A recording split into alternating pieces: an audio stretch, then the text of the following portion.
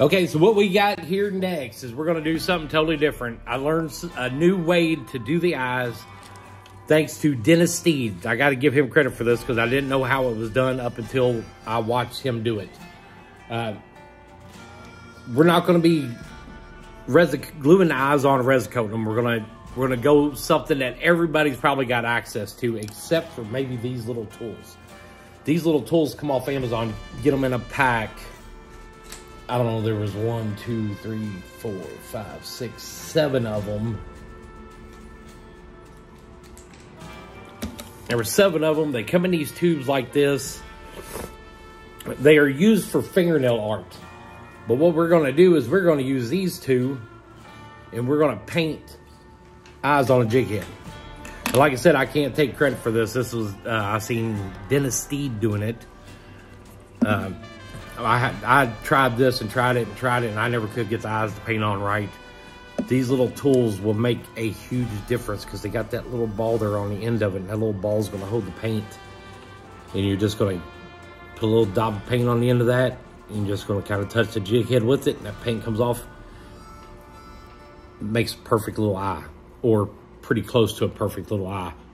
Um, so what we're going to do is I went with some colors that are going to be easy to see so I got a 16th ounce pill head, number four steel head hook and a vise. Uh, so what we've got is we've got these little bottles of paint, acrylic paint that you can get from Walmart. And I'm pretty sure these, uh, this this bottle I bought, I think that bottle was, it was a year or so ago when I bought it. I think it was like $8. It was at Walmart. My wife had some. I went up and rated her stuff and uh, this is what we're gonna do. So we're gonna shake this white acrylic paint up. I'm gonna turn it upside down where there's just a little bit of paint left in the bottom of this cap.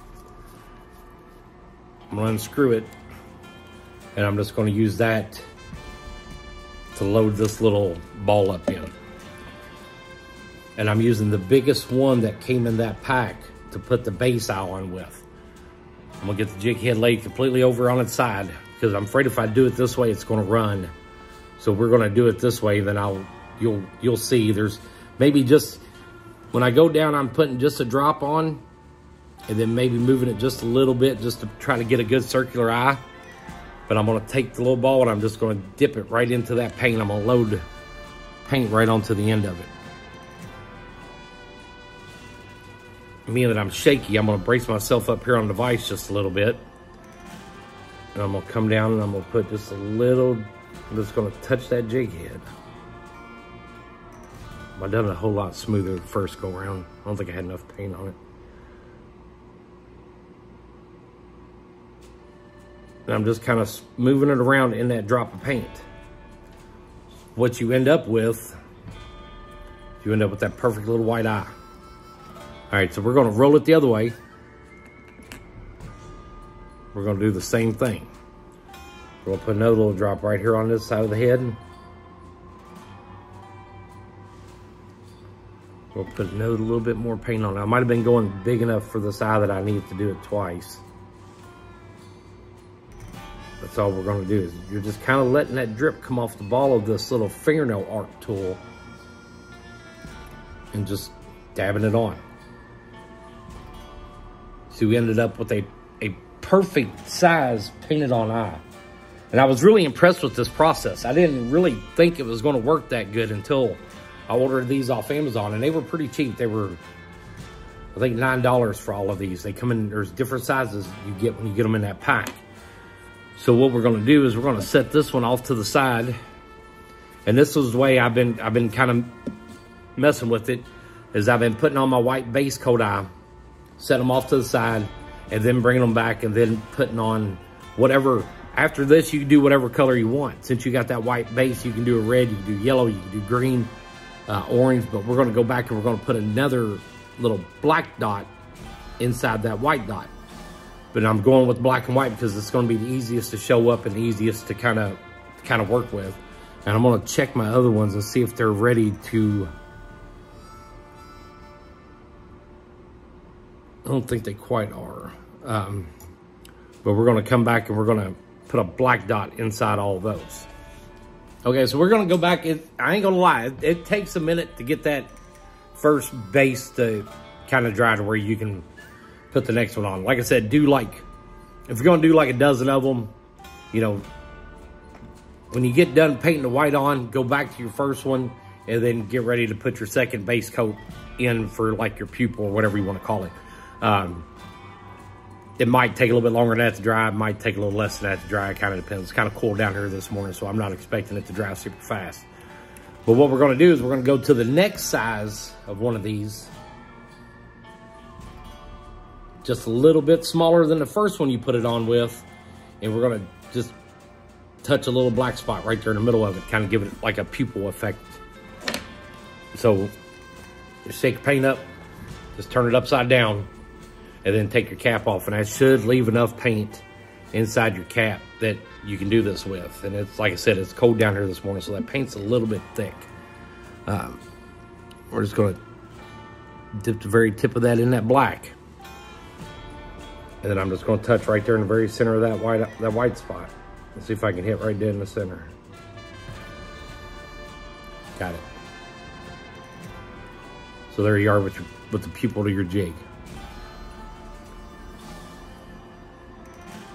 I'm gonna roll this this one over. Gonna do it the same way. We're gonna touch right smack dead in the middle of that white one.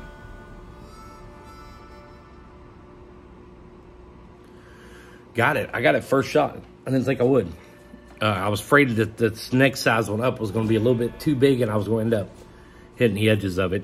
Which, you know, it, it's not going to matter. You get a little bit of that pupil over on the eye. Crappie ain't going to care that much about it. It's kind of more, you know, you want to you want to eye on your jig head and you don't want to go, you know, buying the big sheets of eyes and all that stuff. And you, you don't, you know, want to get in there all tedious and trying to get that eye to stick just right. I mean, because sometimes I will admit that becomes a pain in the butt. Uh, this is pretty cheap. I mean, you've seen how much of that paint I use for each one of these eyes. That little thing of paint, you know, and they come in hundreds of colors. It's all at Walmart. I think it was somewhere between six to nine dollars for that thing, and I bet you could probably do, you know, no more than what we're doing. Just drop, drop, drop. Probably paint a million jig highs on with this stuff. Um, it's simple. It's easy. Everybody's got a Walmart pretty close to them. Um, and it works. It's effective. It looks right. It looks good. If you want to stop at just the white spot, stop at just the white spot. But that's how to paint an eye on a jig head. And like I said, it took me a while. I can't, I can't, I can't take credit for it. I watched somebody else do it. I watched Dennis Steed do it. I found these. Look them up on Amazon under like nail art. Um, like I said, it comes in like a pack of six or seven of them. I want to say they were, I really think they were like 798 or something like that. Um, so if you don't want to, the sticker sheets, you don't want to get tedious with sticking those eyes on, the eyes falling off on the floor. I mean, you look, there's a stray eye laying on that tube. It happens. But okay, we got that part done. Let's let's tie a jig up. I haven't I've been working a lot of overtime this week. I haven't tied anything up.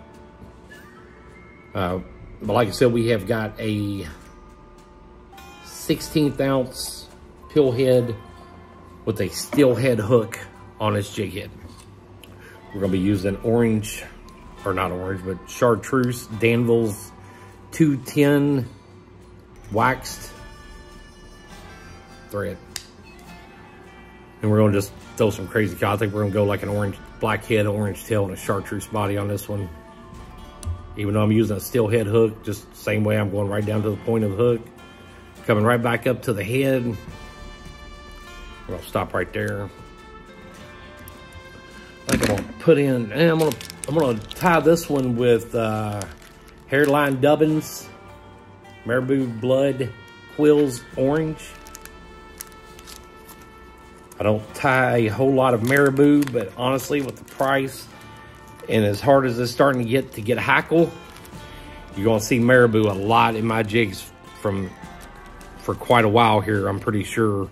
Uh, seems like marabou is a lot easier and a lot cheaper to find right now than um, is. So it's a good alternative to what you what you've been working with. we're gonna pinch off just enough to fill this jig up. Pull it off those marabou quills. I'm gonna cut it about halfway down that feather. I don't wet it down. I don't like, I wanna see it tied. I wanna see it when I'm done. I wanna see the tail fluffy. That's why I don't, um, you don't see me wet it down very often.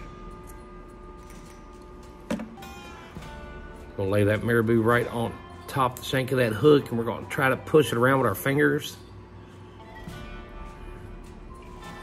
We're gonna catch it, we're gonna give it some good, nice, snug wraps, not super tight wraps, just snug.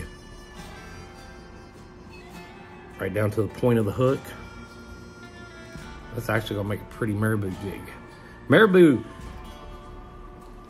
I'm, I'm bad at it and I apologize. Marabou has so much more action than hackle does. Um, if you're not tying with marabou, it's one of those materials that you probably should, especially vertical jigging, because you're gonna have that fluctuation, that pulsation with that tail when it's under the water when you're vertical jigging. Gonna put that flash right on the back of that hook. We're gonna bring it back up. Starting to get just a little bit snugger with each, each wrap. We're gonna be using a medium, medium chartreuse chenille.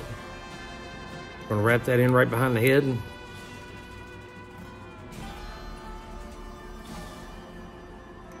Tie it all the way back up. Stop right there. We're gonna put just a little bit of a glue base on the back side back here where there's no feathers. It's all pulled down nice and tight. We'll put it right there on top of that body. We're just gonna brush it on just a little bit. Don't take a whole lot right there in that spot. Uh, pull our bobbin back down. We're gonna wrap it.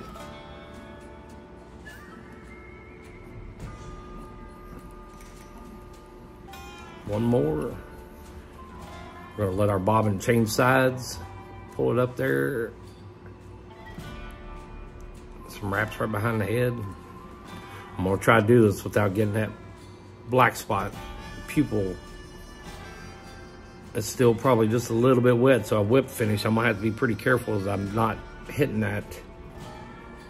Let's reach up in there, snip it off. It's got our whip finish tool. Let's see if I can do this without screwing the eye up. But the whole purpose of this video was to show you how to put those eyes on. You don't have to have the stickers. Um,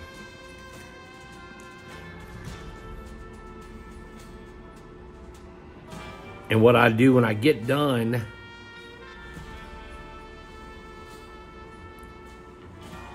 I'm actually having to concentrate on that so I don't hit that black spot. Got it. What I do when I get done from here, and it's wet, so I really can't show you, but what I do is brush that UV resin on over top that. You know, put it over top the eye, help protect, help protect the head, help protect the eyes. Um, that way you've got a super shiny, super protected jig head. Um, if you haven't tried this, I, I strongly encourage you to go to Walmart, get the acrylic paint, order the nail art thing off Amazon. Uh, it was simple, so simple. Even I have to watch, you know, you even I watch YouTube videos sometimes and learn something new. I'm always learning something new and I always watch somebody else tie because you never know what they got that you've been trying to do. I don't care if you've been tying jigs for 30 years, somebody has perfected a way they do it that might help you be able to incorporate into your jig what you can do to change it, to make it better, uh, make it easier, make it faster, more streamlined.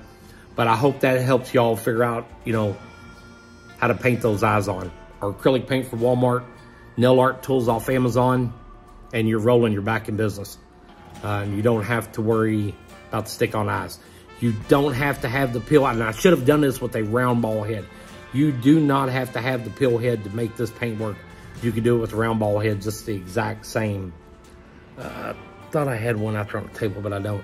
You can do it with the round ball head. It'll do it the exact same way. So you do not have to have that pill head to do this. You can do it with the round ball head.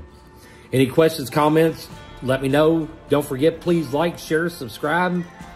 Um, until then, I will see you guys next time. Thank you for watching. I appreciate the subs. I appreciate all the comments, all the remarks, the questions. Keep them rolling. It keeps me busy. It keeps me wanting to do this. I appreciate you guys. Until next time, I will see you later.